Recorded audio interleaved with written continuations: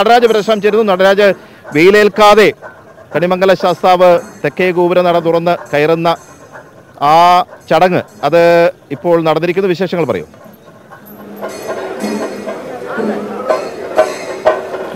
അഞ്ചു മണിയോട് കൂടിയാണ് കണിമംഗലം ശാസ്താവ് ക്ഷേത്രത്തിൽ നിന്നും എഴുന്നള്ളിപ്പ്.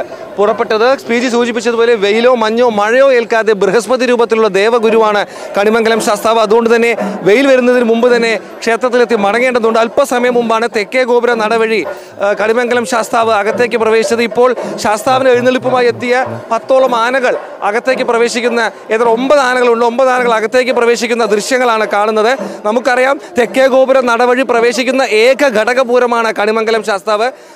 വടക്കുന്നാഥന് അഭിമുഖമായി കണിമംഗലം ശാസ്താവ് വരാറില്ല. ഈ വഴി പോകുമ്പോൾ വടക്കുന്നാഥന് പിന്നിൽ നിന്ന് നോക്കി നിൽക്കുന്ന തരത്തിലായിരിക്കും കണിമംഗലം ശാസ്താവിന്റെ തിടമ്പ് അവിടെ എത്തുക. അതിന് കാരണമെന്ന് പറയുന്നത് നേരത്തെ പറഞ്ഞതുപോലെ ദേവഗുരു സങ്കല്പമാണ്. മുഖാമുഖം വന്നാൽ വടക്കുനാഥം പോലും എഴുന്നേറ്റ് നിന്ന് വണങ്ങേണ്ടി വരും എന്നതാണ് ഐതിഹ്യം. ഈ ഒരു സാഹചര്യം ഒഴിവാക്കാനാണ് പൂരം ചിട്ടപ്പെടുത്തിയ കാലം മുതൽ തന്നെ തെക്കേ ഗോപുരം നടവഴി കണിമംഗലം ശാസ്താവ് അകത്തേക്ക് പോകണമെന്നും നേർക്ക് നേർ വരാതെ വടക്കുന്നാഥിന് നേർക്ക് നേർ വരാതെ പിന്നിൽ നിന്ന് നോക്കി നിൽക്കുന്ന തരത്തിൽ ചിട്ടപ്പെടുത്തിയത്. അതുതന്നെയാണ് അത് തന്നെയാണ് നമ്മളിപ്പോൾ കാണുന്നത്. എന്തായാലും അല്പസമയത്തിനകം ആദ്യ ഘടകപൂരം തെക്കേ ഗോപുര നടവഴി ക്ഷേത്രത്തിൽ പ്രവേശിച്ചു കഴിഞ്ഞു. ഇനി ഘടകപൂരങ്ങളുടെ വരവാണ് പരക്കമ്പള്ളി ശാസ്താവും അതുപോലെ തന്നെ ലാലൂർ അയ്യന്തോൾ ഭഗവതിമാരും ഒക്കെ തന്നെ വരും മണിക്കൂറുകളിൽ ഇങ്ങോട്ടേക്ക് എഴുന്നള്ളും. പലരും പ്രധാന നടവഴിയും മറ്റുമാണ് മറ്റു പൂരങ്ങൾ.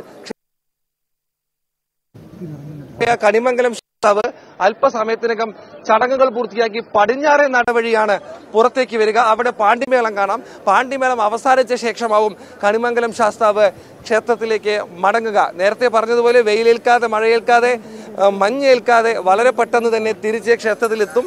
ദേവഗുരു സന്യാസി രൂപമാണ് ബൃഹസ്പതിയാണെന്നാണ് സങ്കല്പം. P G. ശരി നടരാജ പരശുരാമാണ് വിശദാംശങ്ങൾ നൽകിയത്.